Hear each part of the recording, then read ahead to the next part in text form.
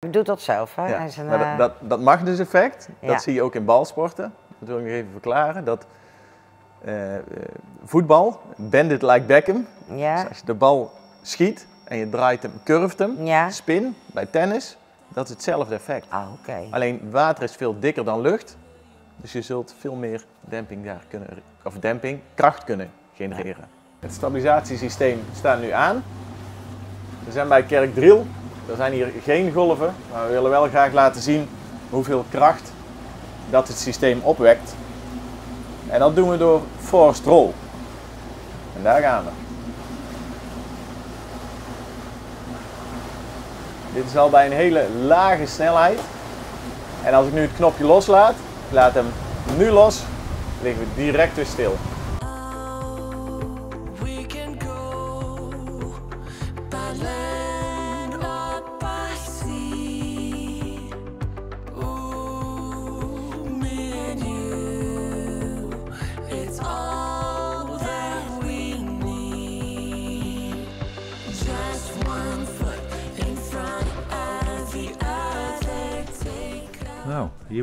Mee, zeg je. Hier begint het mee. Ja, dit is een lasbus, dit is een aluminium lasbus.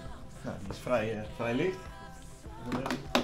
Kan ik zo. Ja, maar hele... Hier wordt het stabilisatiesysteem in het schip Ah ja. dat gebouwd. Dus dan Ja. voor een aluminium schip, komt er zo in het schip. Ja.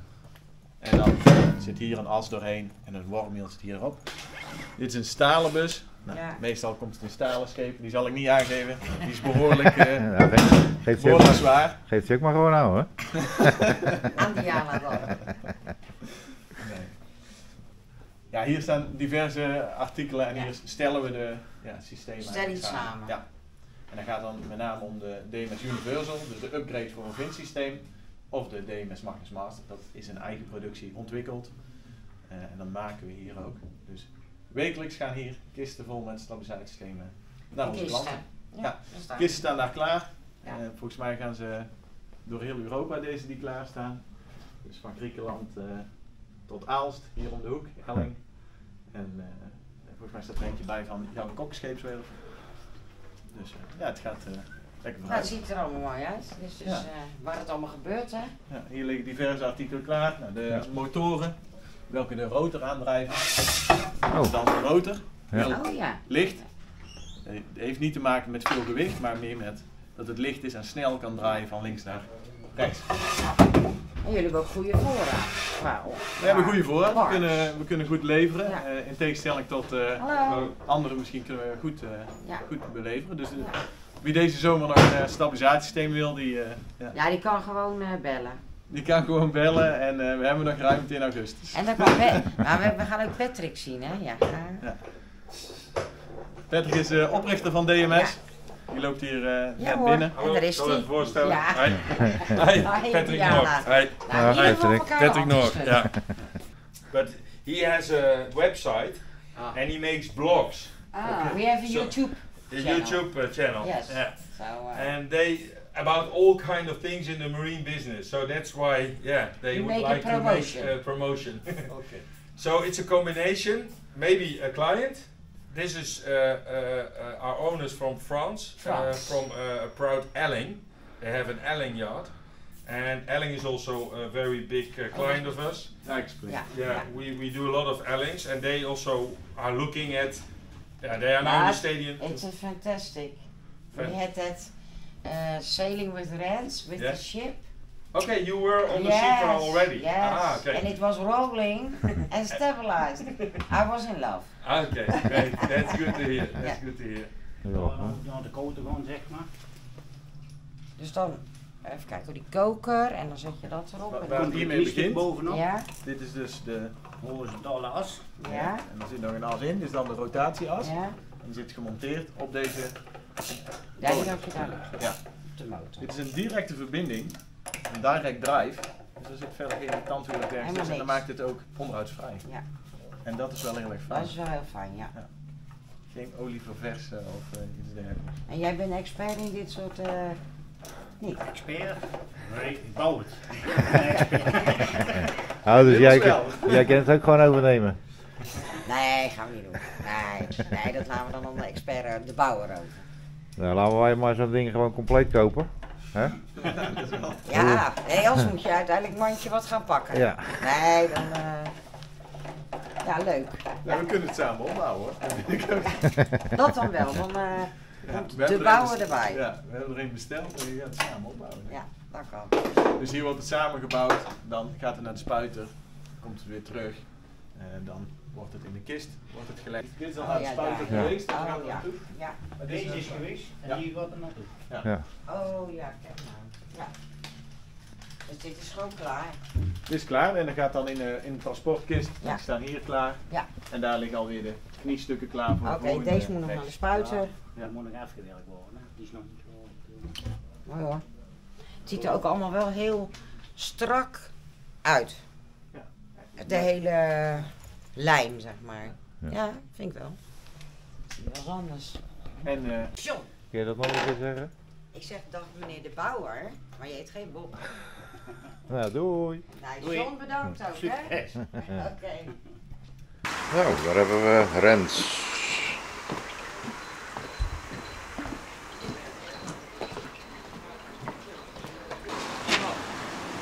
Daar hebben we Rens. een dummy bij. Heb je een dummy bij je? Oh, je lijkt wel een aapje achter dat hek. Ja. Kom even, even kijken met een mooie weer. Nou, Ja, is net... eh, je hebt je werkpak al zie ik. ik heb een werkpak aan, ja. Dummy bij. Een dummy bij je. Oké. Mooi. Schoentjes uit. Schoentjes uit, altijd hè. Schoenen uit. Altijd, altijd. Nou, gisteren lekker gevaren, hè? Gisteren lekker gevaren, ja. Mooie oplevering gehad. Dus, eh, Ja, en vandaag in het mooie dorp. mensen waren blij. Mensen waren blij, ja. Oh. Onderweg naar Den Bosch, tenminste. Ze zijn nu in Den Bosch, denk Ja. ik.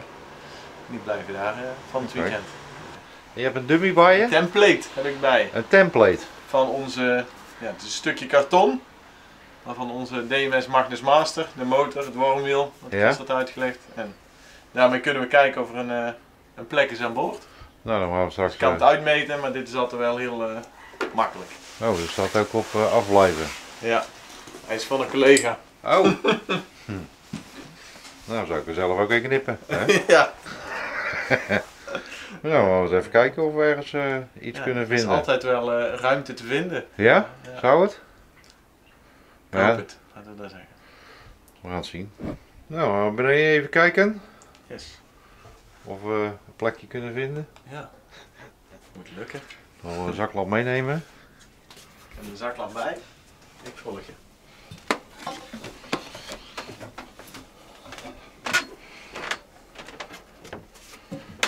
Nou, ik heb hier een, eh, hier een gat.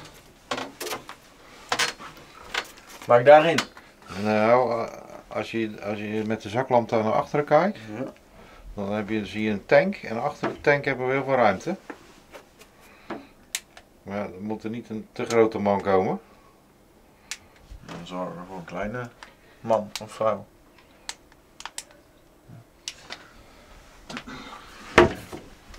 Daarachter loopt die. eh, Ja, daar zit een, een lamplicht er ook. Ja.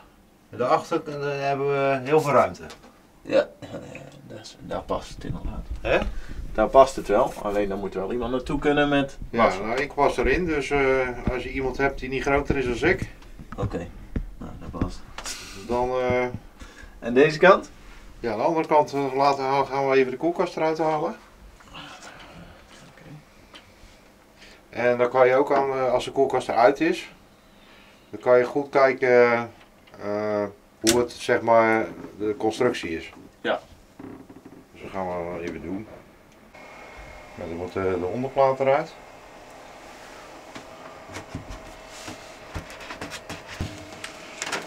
Dan kom je allemaal eh ballast tegen van eh Altena. Nog het zweten. Dus eh, eh, je, je had je overal bij je, toch? Ligt in de auto, kamer. Nee. Eh, Kijk heel even naar de constructie, hè? Enig idee waar de waterlijn zit? Hier? eh, hier, ik zie- hier zit nog een, eh, een uitgang. Of zit die op de waterlijn? Of? nee, je zit op de, boven de waterlijn. Zal ik even meten hoe ver, hoe ver boven de waterlijn? Ja. Dan kijk ik even buiten. Globaal hè? Ja, ik geloof ik. Ik heb hier een meter. Ja, dat kunnen we niet bij.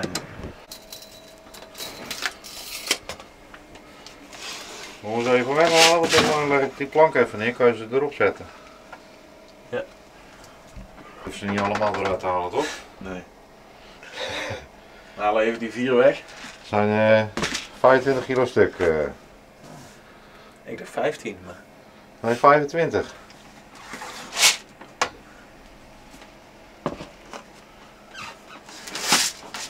Smaakt wel, hè?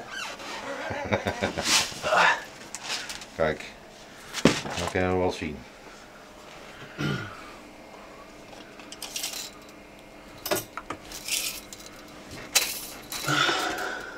We zitten hier vanaf. Hier een 80 centimeter. Ja.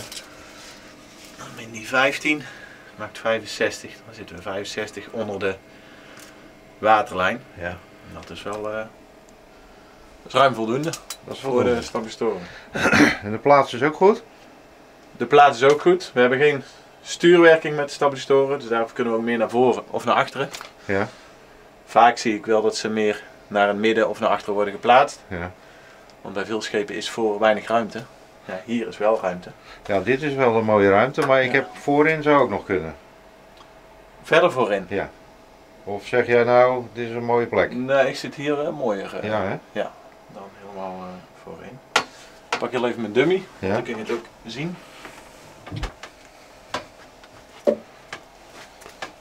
Die kan eigenlijk op eh, meer verschillende manieren geplaatst worden. Oh, Voor de werking maakt het eh, niet Nee. uit. En die zit dan. Nog wat lood eruit. heel leuk eruit. Nou, het is toch nog zweet, eh, zweet op je vrije...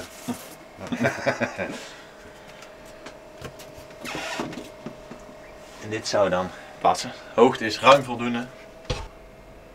Zo? Ja? De hoogte is voldoende? Hoogte is ruim voldoende. En als hier zit, ja. Dan zullen laswerkzaamheden plaatsvinden. Ja. En dan lopen hier twee spanten. Ja, Hierheen, daarheen. maar die moeten wel verstevigd worden denk ik, hè? Die moeten versteegd worden. Er komt een gat in. Ja. Een bus wordt erin geplaatst. Ja. En dan komt er een topplaat over de bus en de spanten heen. Ja. En dan wordt die naar de zijkant van het schip vastgelast. En dan de spanten. Oké. Tenminste over twee spanten. En dan eh, Ja. hebben we voldoende. ja. Ik denk wel dat je spant ook een beetje moet verstevigen. Zo sterk zijn die spant ook niet. Dat, dat zou kunnen.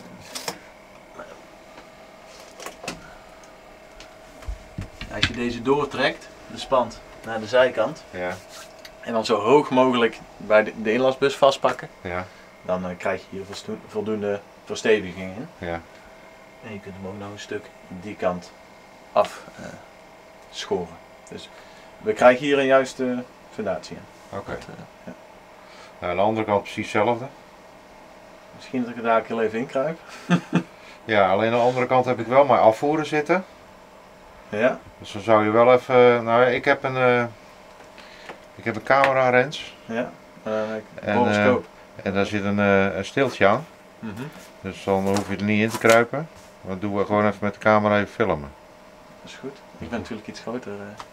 eh, Goed plan, denk ik. goed plan. Ik leg ze even eh, terug. Ze wordt weer eh, zweten.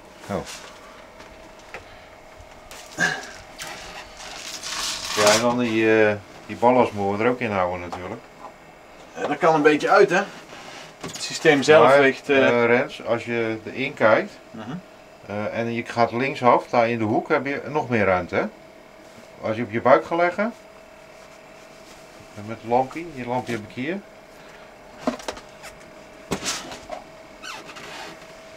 Want eh, ze moeten links en rechts natuurlijk zelf- hetzelfde zitten, bakboord, stuurboord, maar je hebt daar nog meer ruimte. Hè? Ja. Jullie op eh zitverwarming? Ja. Vloerverwarming? Ja, dat zijn alleen de buizen. En hoe komen we daar? Ja, via dit luik. Dan moet de ballast eruit. Maar je kan er gewoon in komen, hè? Maar het gaat er een Aan de andere kant hebben we hier geen ruimte. Dus zouden we even moeten kijken. Waar de afvoeren zitten van... eh, Het, het kan hier het kan ook daar. Ja, want als we alle ballast eruit halen, dan, dan kan ik er makkelijk in. Hierin? Ja. Ja, dan ga ik met mijn voetjes eh, rechtsaf en dan ga ik met mijn buik linksaf. Oh, hier ligt nog meer. eh. Ja, dat kan ook. Maar ja, misschien En als we daar op hetzelfde kunnen zitten als daar, dan zou ik hem eentje een span terug doen. Maar misschien als we dat spul ingebouwd hebben, kan misschien de ballast ook weg. Ja, per, eh, voor dit schip zou je twee units hebben, stuur Ja. het bakboord. Ja. Dat kan ik met één, maar is, eh, dit schip is meer dan 20 ton waterverplaatsing. Ehm 250 kilo per stuk. Dus dan kan er wel wat ballast weg. Oké. Veel zit onder water, maar Maar tot eh, hoeveel meter kan je dan met één af? eh 20 ton. Je gaat niet echt op, eh, op meters eigenlijk. Oh, En het heeft te maken met tonnage, heeft te maken met eh, GM, ja, eh, onderwaterschip, eh knikspand, eh multiknikgrondspand. oké. Het het is een vuistregel tot 20 ton. Dat is het. eh. Maar er zijn ook schepen 22, 23 ton die er één hebben. Waar het ook goed Oké. functioneert. Dus. Ja. Ja. En weer meer dan 100 ton krijgen we er vier, kunnen we er vier. Dus. Maar dan zitten we schepen van een 25 tot 30 meter. Ja, dan hebben we het over zo'n grote monen of zo. Een grote molen, ja, ja, kan. De Ja. Vries of een. Of een- Dan gaan wij alles weer even terugbouwen. Dan gaan we even naar de andere kant kijken. De positie van de Magnus Master. Ja, Dit zou een goede positie zijn. Vanaf hier wordt hij iets smaller naar voren. Ja. Stel, zou je nog verder naar voren gaan. mm, Het schip wordt alleen maar smaller. Ja. En daardoor mis je ja, eigenlijk een stuk arm. dus, maal arm dus, geeft meer demping. dus eigenlijk wil je het hebben over de, eigenlijk op de, op de breedste stuk Op de van... breedste plek van het schip, als dat mogelijk is. Ja, En hier kan het. Nou, onder dit luik zou ik hem niet plaatsen, omdat je dan meteen op de stabilisator krijgt. Kun je er nooit meer in. nee. Dus dan kun je hem beter een span naar achteren. Ja. En dan kun je er altijd nog in. En bij de stabilisator zijn of naar voren, Uh-huh. wat daaronder zit. Oké. Dan kijken we van de andere kant. Maar dat kunnen we met een cameraatje doen hoor, dan hoeven we niet te klimmen. Oh, dat is goed. Dat is het voordeel als je bij een, eh, bij een vlogger aan boord bent hè. Je hebt allemaal eh, van die camera, eh, De camera en de die strop. camera dingen. Nou, we zijn eh, met de camera beneden geweest hè. Hier hebben we het beeld van beneden. Hier zien we het, hetzelfde spand als aan bakboordzijde. Dit is stuurboord. Ja. En hier kunnen we, hier past de stabilisator. Ja. En iemand die klein is, die kan daar wel lassen. ja. We kunnen goed afsteunen op dit spand. Ja. En de meeste krachten gaan zitten eigenlijk op de zijkant. Mhm. De kracht zullen naar boven en naar beneden zijn. En daarmee duwt en trekt hij eigenlijk op de zijkant. En dan moet dan goed afgesteund worden op de spanten. Gespanten, ja. Dus er komt hier een bus te zitten, fundatiebus. En dan afschoren. Oké. Een mooi werkje voor een eh, ervaren lasser.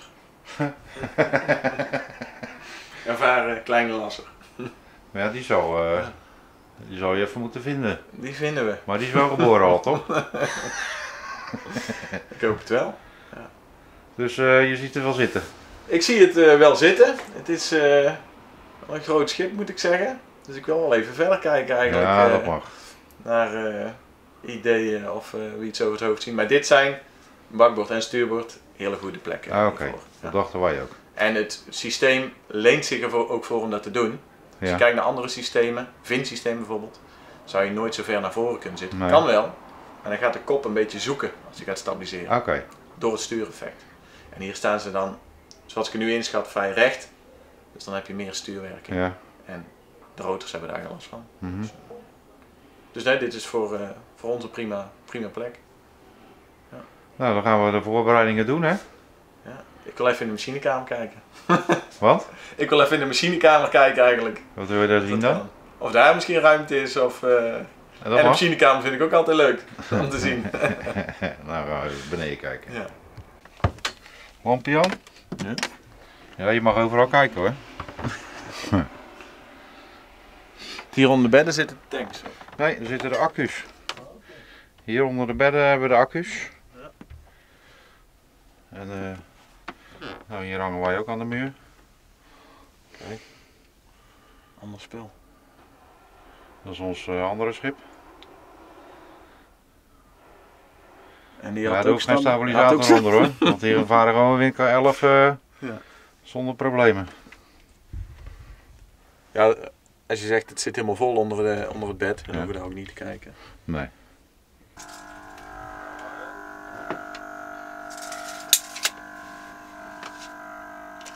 Technische ruimte. Hier kan de.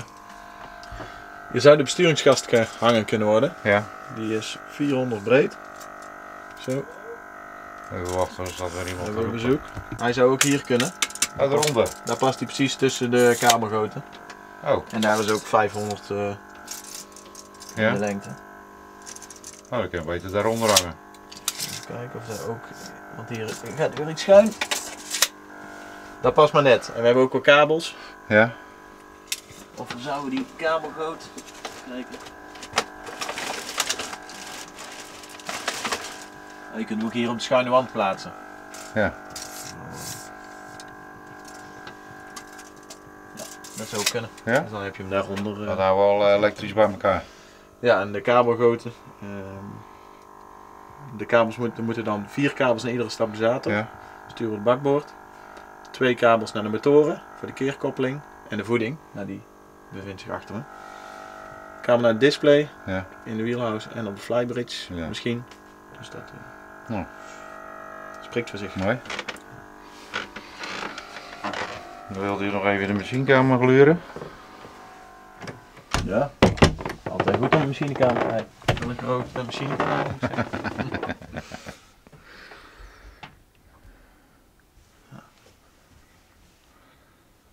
Kijk, op zo'n schip wordt de stabilisator meestal in een machinekamer of Ja. achterop ingebouwd. Ja.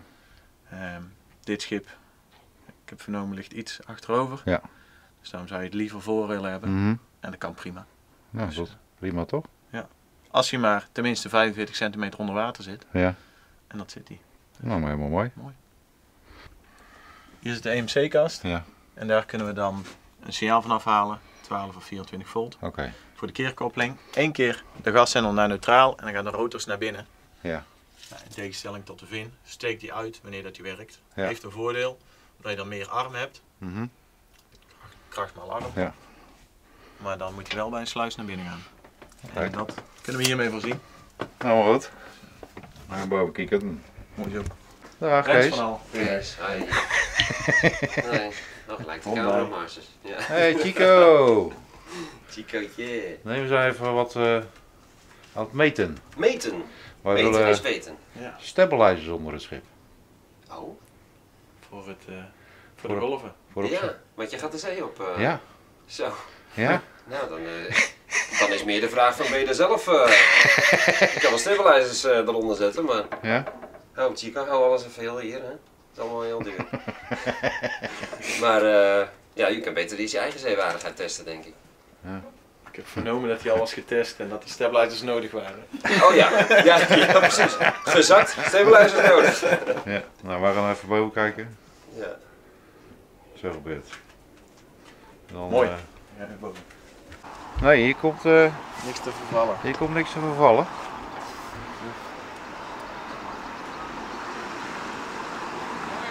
Ja, ik moet zeggen, hier is het krap. Ja. Het kan ook met één display. Dan geen boven. Ja, maar jij had het erover dat je ook met de Rea Marine kon koppelen. Dat klopt, maar ik zie er geen remarine op dit moment. Nee, die zit, eh, die zit hier, maar die, eh, Hierop. die, Dan zou ik, even het model moeten kijken. die ben ik eh, bijna aan het kapot slaan met een hamer. Oké. Dan moet ik even kijken welk model het is. Ja. Dan zouden we kunnen kijken. Met de Empire Bus module kunnen we daarop koppelen. En dan kun je hem bedienen en zien. Ja. Op zich is dat wel fijn als je hem aan wil zetten. Want dan kan je boven kan je gewoon, Ja, anders moet eh, Diana naar beneden om aan te zetten. ja.